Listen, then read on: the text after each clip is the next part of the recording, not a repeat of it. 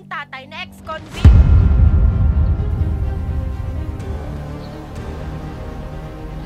Naintindihan mo? Kung ikaw tanggap mo na ex-convict yung tatay mo, pwes ako hindi! Sumusobra ka na, Jen! Bakit? Totoo naman ah! Ayoko magkaroon ng amang kriminal! Sumusobra ka na! Tama na. Hayaan na lang natin siya kung yan ang gusto niya.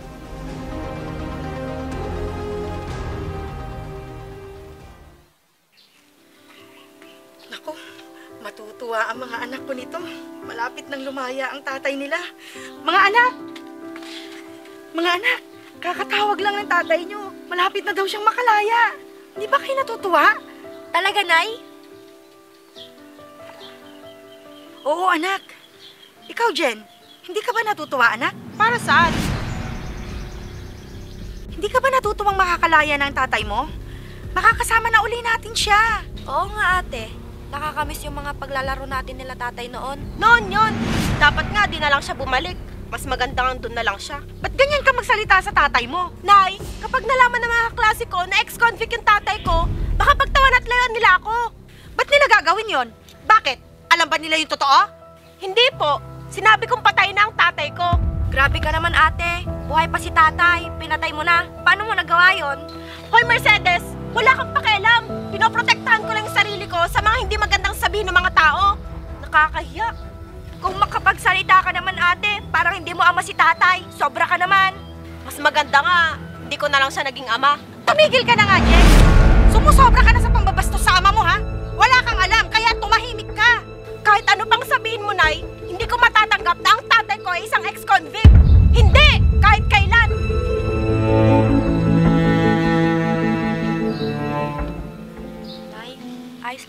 kayo? Oo, anak. Pagpasensyahan mo ng ate mo, ha? Basta ako, Nay, sabik na ako makita at mayakap si tatay. Miss na miss ko na siya. Hayaan mo, anak. Malapit na. Tagal naman nila. Gusto ko nang makita si tatay. Miss na miss ko na siya.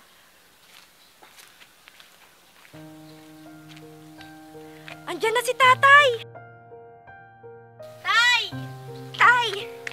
Kamusta na po kayo? Ayos lang anak. Ang tangkad mo na ah. Asan ang ate mo? Hay naku, mahal. Hindi siya umuwi kagabi. Natulog siya sa bahay ng kaibigan niya. Mukhang hindi ako na-miss ng panganay natin ah. Namiss din po kayo ng tay. Di bale, andito naman din po ako. Hindi pa rin nagbago itong bunso ko ah. Malambing pa rin kahit dalaga na. Wala akong problema dyan sa anak nating yan, mahal. Anong ibig mong sabihin, mahal? Pasaway ba si Jen? Hindi naman mahal. Basta, tara na sa loob ng bahay nang makakain at makapagpahinga ka na. Oo nga, tay. Tara na. Sige, tara na.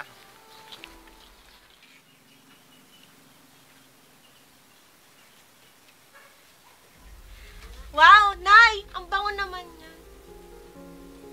Kamusta anak ko? Namiss mo ba si tatay?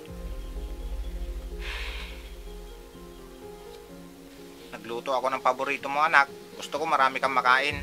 Unang harap natin ng tanghalian ngayon. Hindi na ho yan yung paborito ko. Isa pa, hindi na po ako gutom.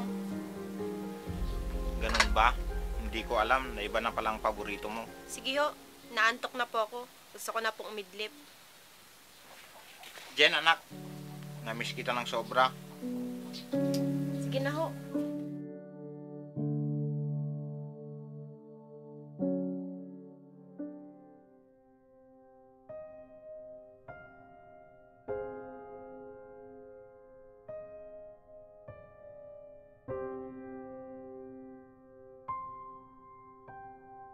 Oh, ba't ganyan ang itsura mo, mahal? Para kasing hindi masaya si Jen na nandito ako. Ba't mo naman nasabi yan? Ni hindi ko man lang siya nakitang ngumiti nung nakita niya ako. Mahal, bigyan pa natin siya ng konting panahon. Naninibago lang siguro yun. Masasanay din yun. Siguro nga mahal. Kung alam mo lang, Jen, ang dahilan bakit nakulong itong ama mong kinakahiya mo.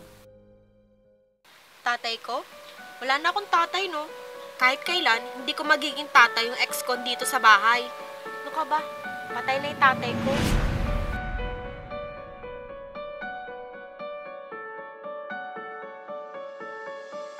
O siya, sige. Babay na. May gagawin pa ako.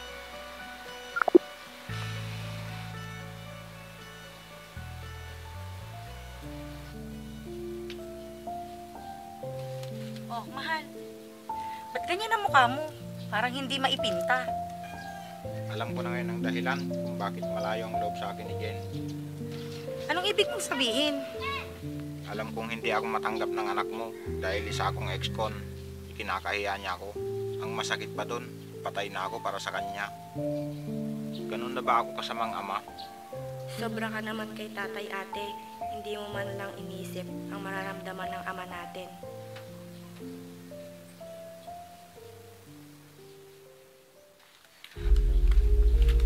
Ate, pwede ba kitang makausap? Tungkol saan naman? Tungkol kay tatay. Alam mo bang narinig ni tatay yung mga sinabi mo sa kausap mo sa telepono? Eh ano naman ngayon?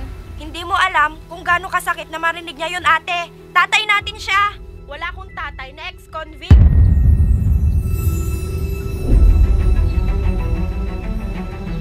Naintindihan mo?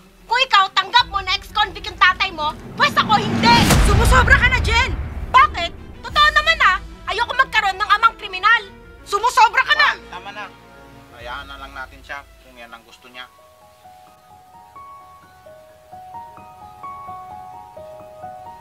Panahon na sigurong malaman mo. Alam mo ba kung bakit nakulong tong sinasabi mong kriminal? Mahal, tama na. Pakiusap. Itong kriminal lang naman na ito na sinasabi mo na ex-convict at ikinakahiya mo ang nagligtas ng buhay mo noon. Ano bang sinasabi mo, Nay? Matagal ka na sanang nawalan. Hindi nagsakripisyo ang tatay mo.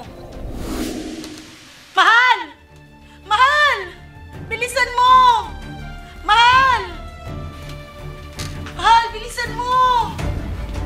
Bakit mahal? Anong nangyari? Sobrang taas ng lagnat niya. Kailangan na natin siyang dalhin sa ospital. Sige mahal, dalhin mo na siya sa ospital at magre-remedyo lang ako ng pera.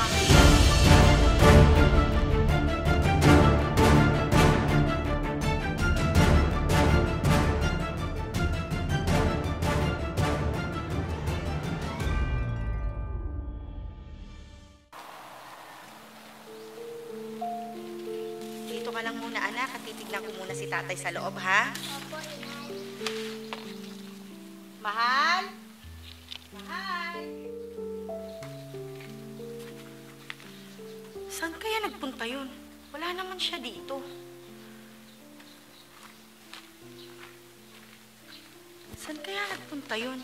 Wala naman si tatay dito sa loob. Sino to? Hello? Sino po sila? Mahal, alagaan mong mabuti yung mga anak natin ha. Mahal na mahal ko kayo. Anong sinasabi mo, mahal? Asan ka ba? Andito ako sa presinto mahal. Kusa akong sumuko sa mga pulis dahil nakonsensya din ako sa ginawa ko. Ano? Kaya kong tiisin ang buhay sa likod ng Reyes mahal. Basta alam kong ligtas kayo. Teka lang.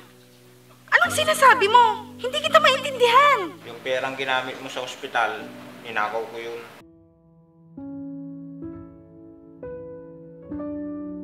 Sa kasamaang palad, na disgrasya ko din yung ninakawan ko. Kaya matagal-tagal pa tayong magkakasamang muli. Ano? Ba't mo ginawa yun? Wala na akong ibang maisip na paraan para iligtas ang buhay ni Jen. Ilang taon lang naman, mahal. Magkakasama ulit tayo. Huwag mo na lang sabihin sa mga anak natin ang dahilan kung bakit nakulong ako. Mahal na mahal ko kayo. Hello, mahal. Mahal! Mahal! Kamalungkot, inay. Wala, anak. Magtatrabaho daw ang tatay mo sa malayo. Hihintayin natin siya, ha? Yun ang totoong dahilan kung bakit nakulong ang ama nyo. Ngayon mo sabihin ate na hindi mo siya ama.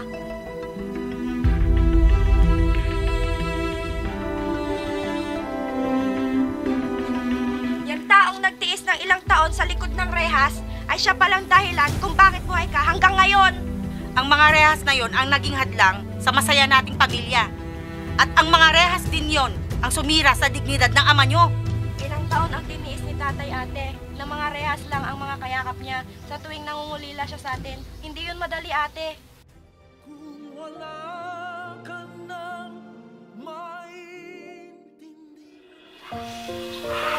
po ako. po alam.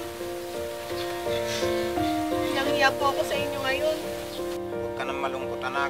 Tapos na yun. Ang mahalaga, yung ngayon. Magsimula ulit tayo. Opo, itay.